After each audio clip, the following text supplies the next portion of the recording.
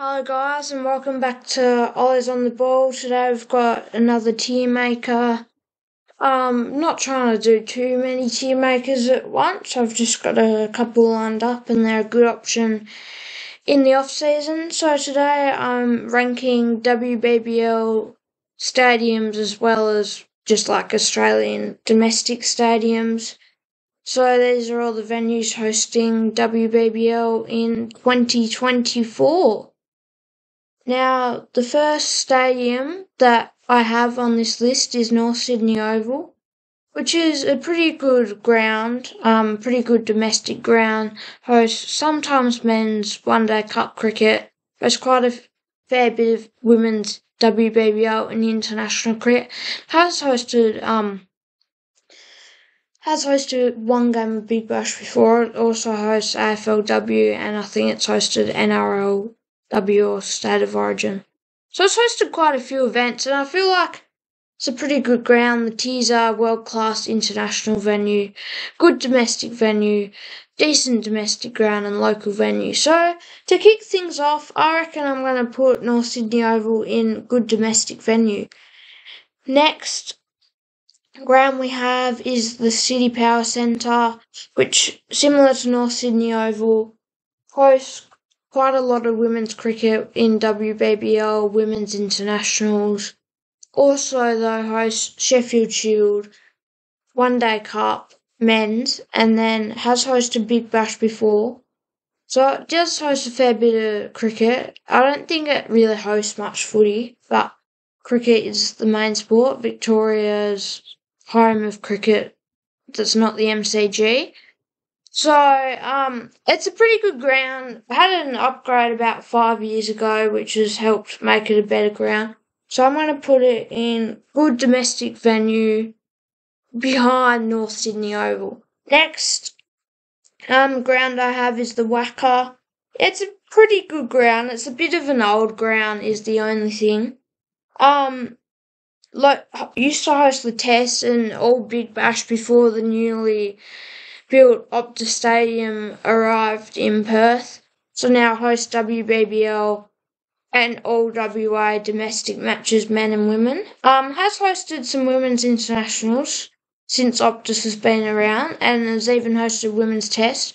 But all the big tests and um, men's internationals and Big Bash go to Optus Stadium. It's a bit odd. There is renovations going on, so that'll liven it up a bit and turn it into a good ground once again, but for now I'm going to put it in C as a decent domestic ground. Next ground on this list is um Allan Border Field. Now, similar to North Sydney and Junction, hosts quite a lot of women's cricket, hosts WBBL, WNCL, then also hosts One Day Cup and Sheffield Shield. So it hosts a fair variety of cricket, also hosts women's internationals.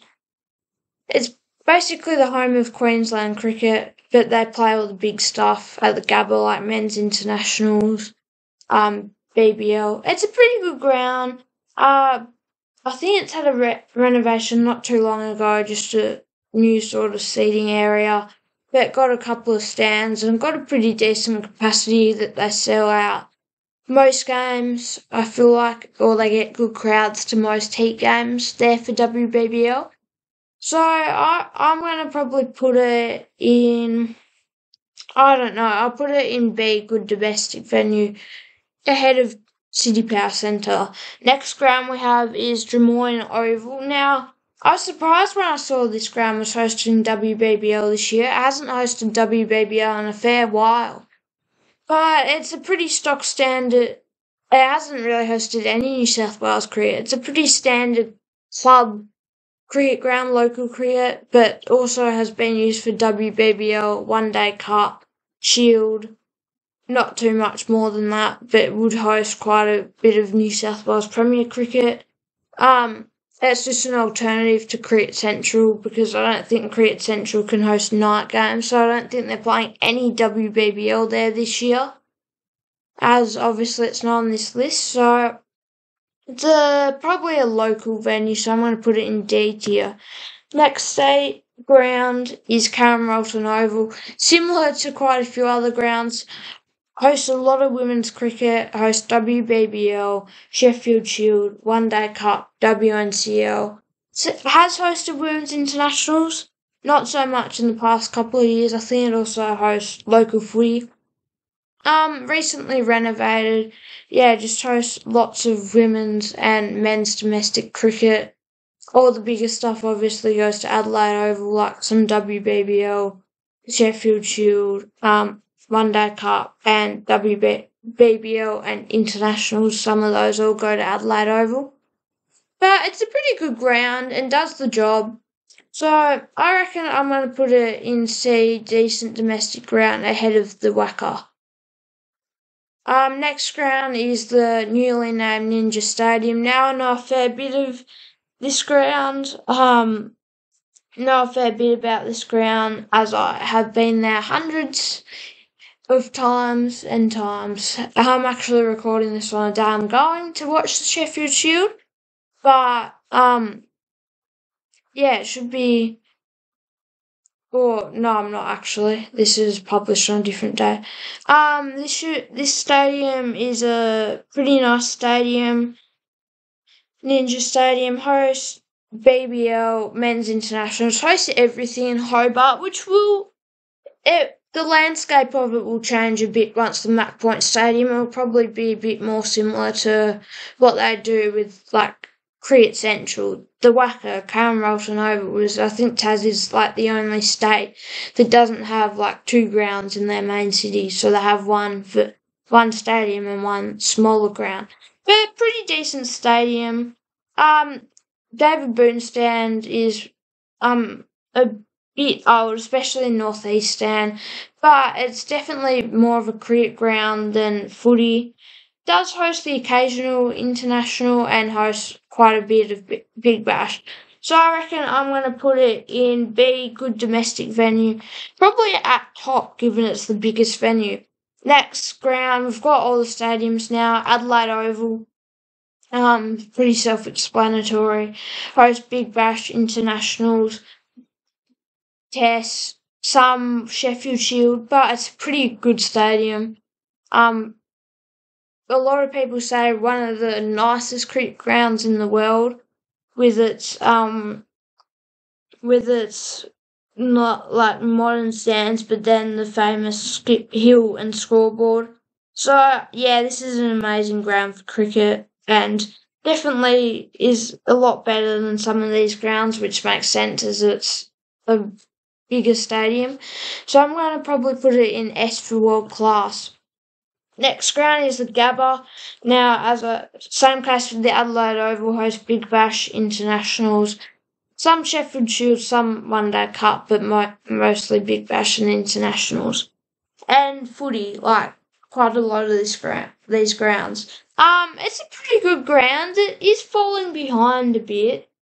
We, uh, compared to some of the other Australian grounds, and probably is due for a renovation. But there's the whole Olympic Stadium in Brisbane, QSAC redevelopment, Gabba redevelopment saga. So, I, yeah, it's all a bit up in the air what its future holds. But yeah, it probably does need a bit of a renovation. It is falling behind, but it's still better than the likes of North Sydney Oval. So I'm going to put it in A as a international venue. Next stadium is the SCG. Now, the SCG is a pretty nice stadium. Just got a nice arrangement of stands, got the old and the new, host Big Bash, um, Sheffield Shield, some Sheffield Shield, internationals, footy, like got a the all four big stadiums, and it's a pretty nice ground. Um, it rains every year for the test, but Big Bash, the Sixers get pretty decent crowds. Test get pretty decent crowds. Pink Test. And WBBL, second year in a row, they've played what they call the Stadium Series there, so they'll play the Sydney Derby, so hopefully they can get a good crowd along to that. So yeah, it's a good international venue. Probably place it ahead of the Gabba. If it lets me. Um, and then final stadium is the MCG. Now, this is pretty pretty self-explanatory. Referred to as the Coliseum, the home of cricket in Australia, hosts BBL internationals. This year, obviously WBBL, um, Shield, some One Day Cup, footy, every cricket. They host all types of cricket, really. Um, yeah, and they're even hosting women's day night test there this year, which will be quite good to watch. But yeah, they're playing WBBL there for the first time in a while. I think they're playing the Melbourne Derby, part of the Stadium Series. They're playing the Gabba for the first time. And it holds 100,000. There's not much more to say. I think it can go on world class. But I'd say Adelaide is probably more of a picturesque venue. So, thanks for watching Oli's on the Ball. I hope you enjoyed the video. Stay tuned for more content. And um, if you have any ideas, sport related, put them in the comment sections down below. Might enter you guys 200 subscribers. So if you enjoy the content, make sure to like and subscribe. It would really help out the channel. But thanks for watching and see you next time.